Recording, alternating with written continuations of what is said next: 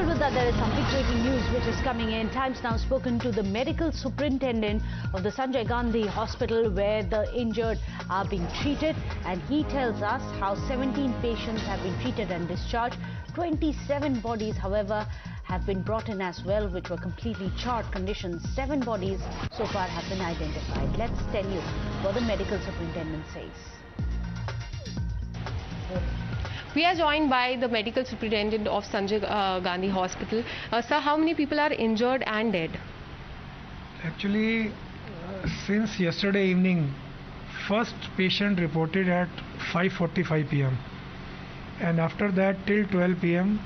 we had received 12 patients, total 12 patients. And today morning till now we have received 5 more patients.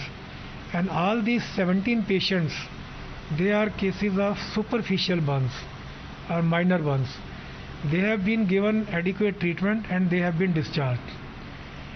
And uh, apart from this, we have received 27 dead bodies, and all these are severe burns, and most of these are in a non-identifiable condition and these bodies are lying in the mortuary and they are under the control of police department and they have now started the further process. So families of these deceased are seeking this DNA sampling to be uh, done as soon as possible. How much time will it take and what is the process?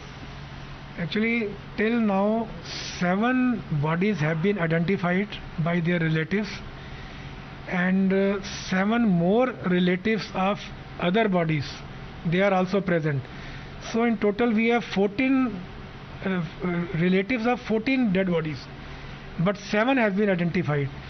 Now we are starting the process of uh, sample collection for dna analysis because that is the only scientific method to identify these people.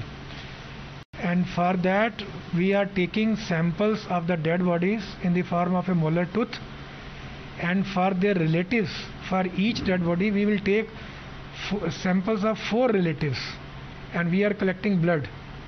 And so in total at present we are able to collect 56 samples of 14 relatives of, of 14 bodies. And uh, since 7 have been identified so for that seven, after collection of sample, we will be doing the post-mortem and these bodies will be handed over to the relatives.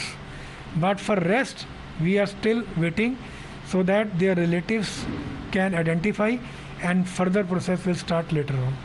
Thank you for speaking to us, sir.